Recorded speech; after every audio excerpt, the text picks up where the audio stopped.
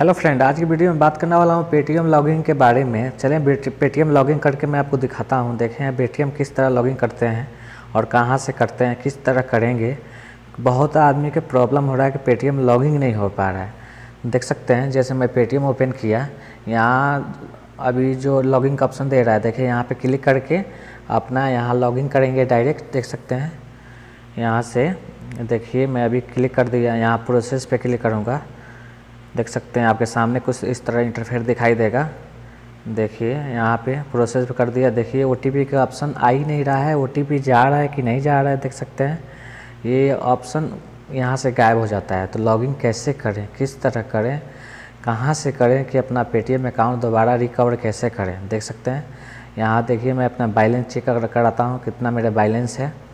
देख सकते हैं।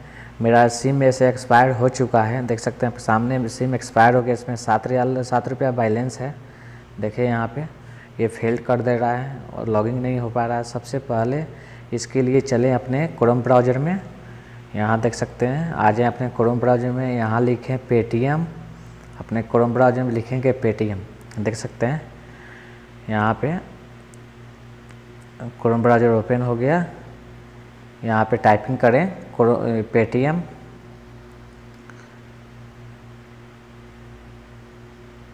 जैसे यहाँ आप देख सकते हैं, यहाँ टाइपिंग कर दिया पेटीएम। टाइपिंग करने के बाद सर्च करें। सर्च करने के बाद कुछ इस तरह आपको इंटरफेस दिखाई देगा।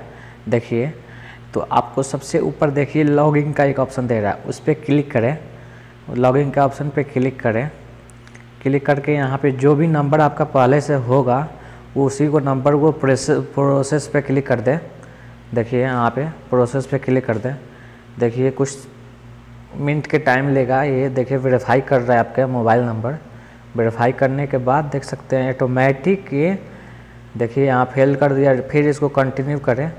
ये ऑटोमेटिक आपका ओ ले लेगा। आपको ओ डालने का कोई ज़रूरत नहीं है। देखें जैसे आपके सामने ऑटोमेटिक ले लिया।